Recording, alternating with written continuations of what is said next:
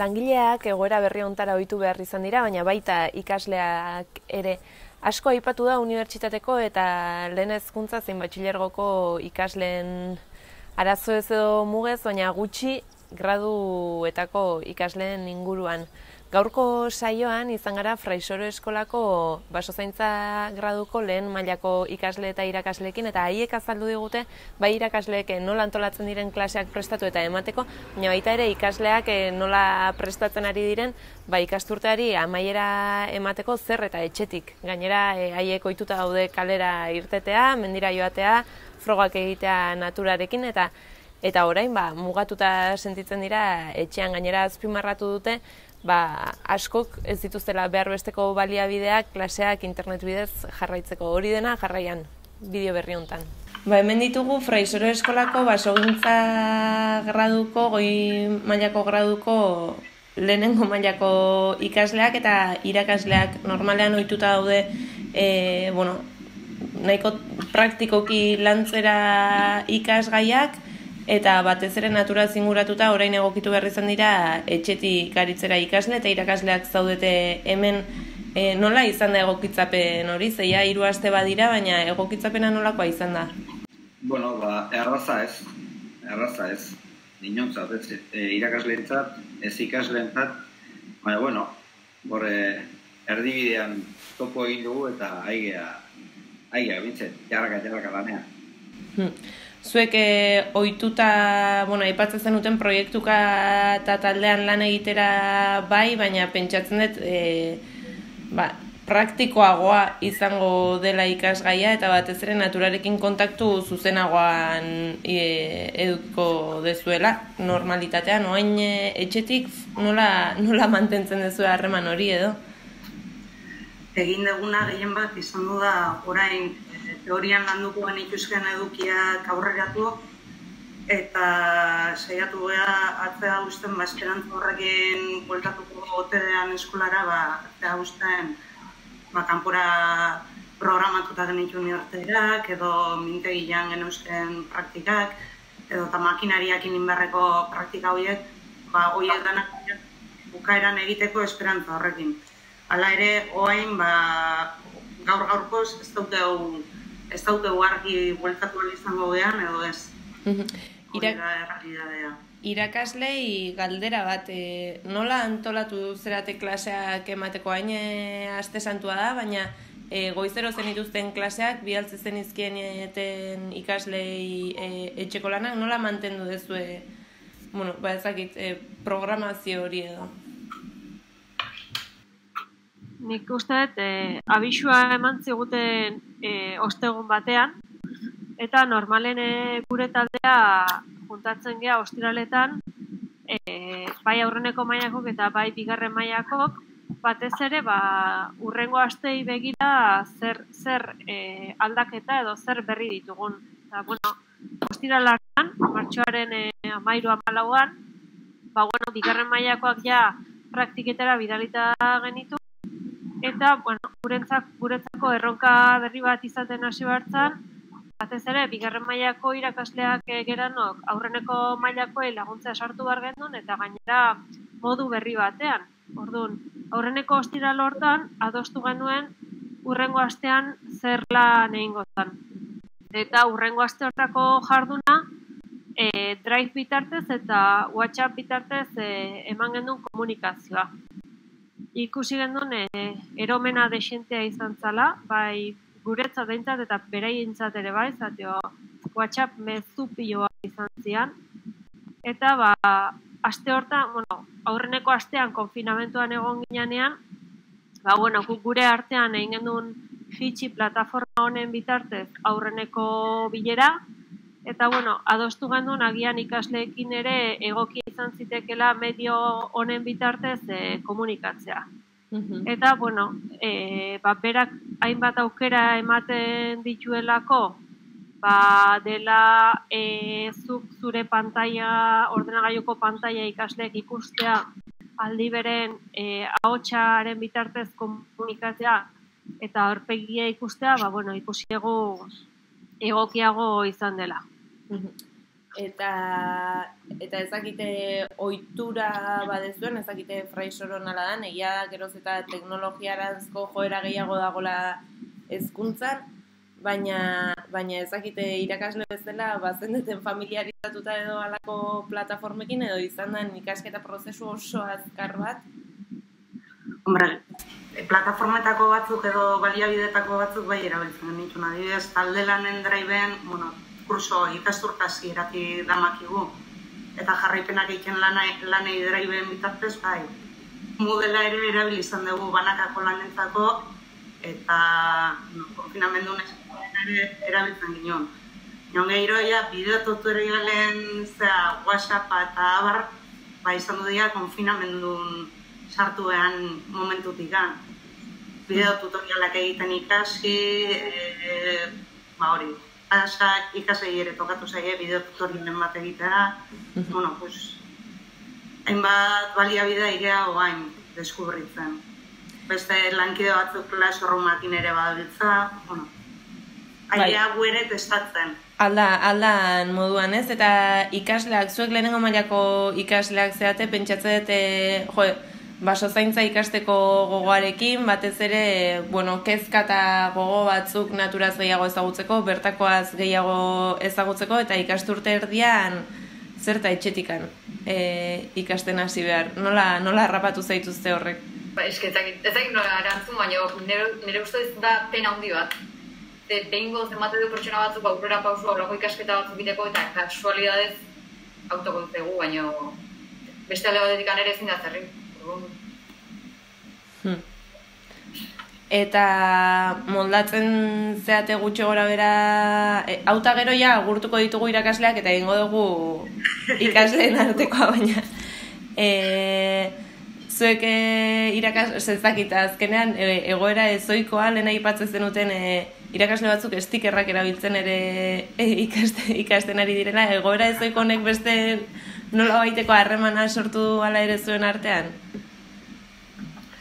Nik uste de, fraizero eskolak badaukala bentaja bat beste eskolekiko dala ikasturte hasieratikan gertutasun bat e, erakusten diegula ikaslei eta horrek albidete du honek errestea ere.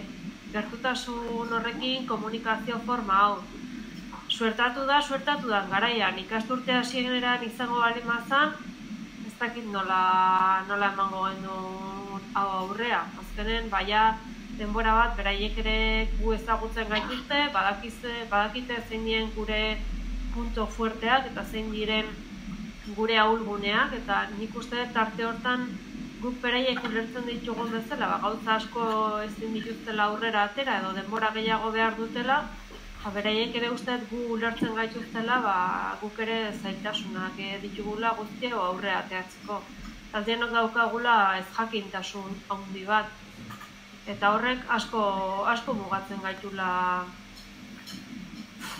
aldan egiten. Zuek uste ez hemendikan urte batzutara koronavirusak e, ezakit, naturan edo, edo larrialdi klimatikoaren boom ontan edo e, turismoaren goraka, inkluso nekazal etxen goraka, hori dena aztertuko dezu ez uste dezu efraizoron, koronavirusak nola eragin dion ziklo naturaren zikloari? Hombre, nik uste gizartean ari direla ausnarketa batzuk egiten horren inguruan, eta uste dut gainera positiboa dela, ez? Ba, mi aldiz esan digute ez dutela produktibidadea jetxi, baina ikusi da beharren beharrez, bai ez, jetxi aldala, horre kutsaduren ere eduki duen eragina. Bentzat hori onura izango da, ez, aldaketa klimatikoari begira, edo hori suposatu leike.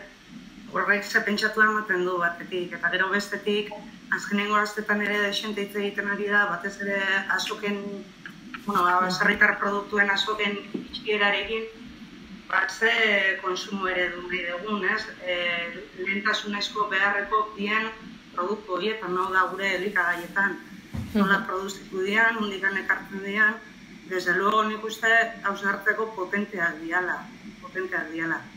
Eta gero personalean ni behin da berriz pentsatzen nahi naiz, pasoak eta hemen inguruko mendiak ere nola egongo dia noa infaunari begira, ez? Pentsatzen dut, ohartuko ziela haieke ba, bueno, bi hankakoen e, erabilera ingurune horiena jetxin dala. Bai. Eta puri-puri negongo diala, horrek ematen dit, eh? Oh, bai, Gure arboretako landare txok. bai, Ba, bai.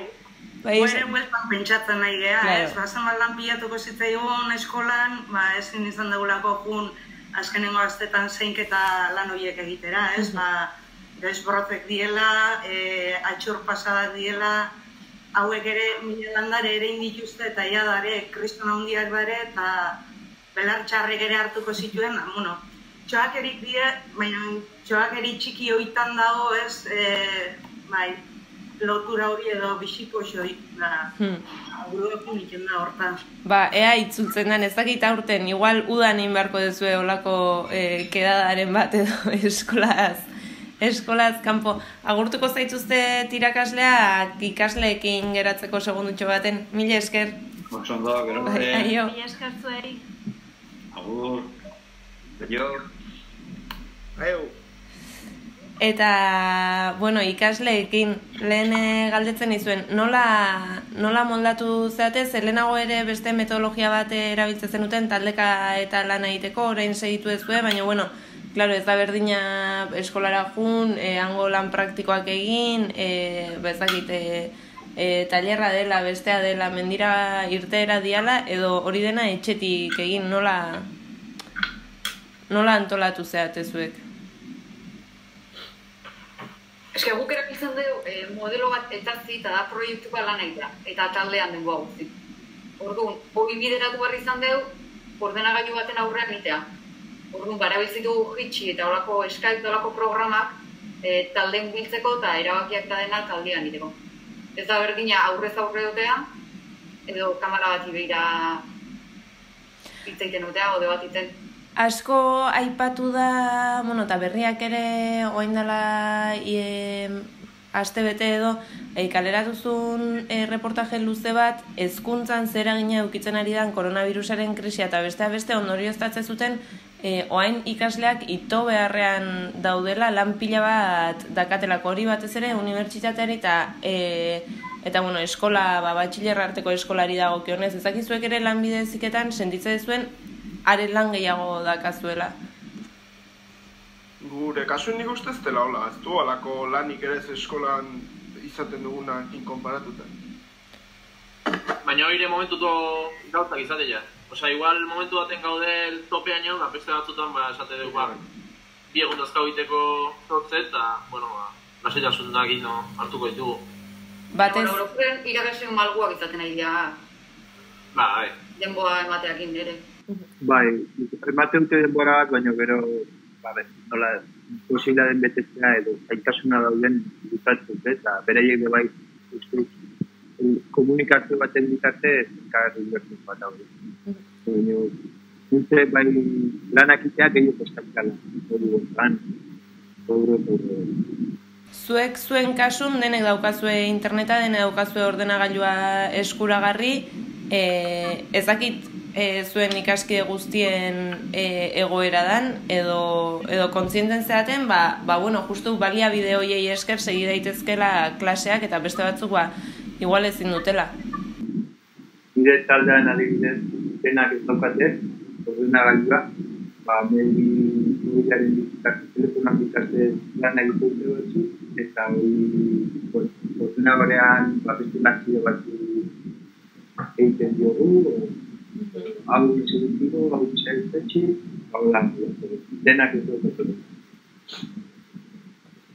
Azkeneko galdera, ezakita urten ja bueltatuko zaten fraisorora, e, ze botatzen zuen faltan? Hombre, ba, gehien bat pixat kale atatzia da mendia eta ez dakit, gauzoik, osea, berez ikustea, ez geho pantalla baten bitartez edo ba, lan itea. Ez dakit, han badakau, ba, ariketa ziteko, o edozin lan iteko, ba, aukera atatzeko kalea, eta edo zer gauza, ba, ikustea be, ikin, da, ez da, osea, gauza aldatzea. Nik uste ditut. Nire gehiena eskutsika. Nik uste nahiko eh, ingona da gaula bai gure artean eta bai irakasleekin, eta goaz adibidez dibero batea eta ikasite deu, eta aparte uste oso ondo pasatzen nola elkarrekin. Mhm. Azken galdera, pixkat gaiztoa, emango dizue denbora herbarioa bukatzeko? Emango dizue denbora herbarioa bukatzeko? Nahi bai. Ez dut uste. Espero dugu urrengo urteako urtea, nik bintzet esperoet urrengo urteako urtea herbarioa, eta hola proposatuko ez, e, uste dut, helburu ikastea dela, eta A ber, konbaleiatze bau ere, gaski ez. Horre ukiko dituzue, ostoak, ostoak pilatuta eta pilatuta ba, ba urte betez, baina bintzat tramparik egin gabe, ezta? bai, ni uste. Bai, ba, leno, lenoko galderakin lotuta, zerutatzen faltan, ba, beraiekin lo, landareak ikuitzea, esplikatzea, nor, dakin norbaiten munduan egitea eta beak esplikatzea, pues, uste dut ordenagailu bezala ematen, eta herbario bat behar lan lan eta haizu osto hau hau zen daiteke bestea, eta ez baldin bauketzu norbaitola nola daiteke, eta herbario galdera, bai. Ba, asteko alik eta azkarren bukadila konfinamendua, bigarrena alik eta ondoen segitu dezazuela e, ikasketa prozesu hau, eta batez ere, bueno, ba, ba, ea, ea aukera dakazuen berriz ere fraisorora itzultzeko, eta mila esker gurekin izateagatik. Aio. Eo. Aio.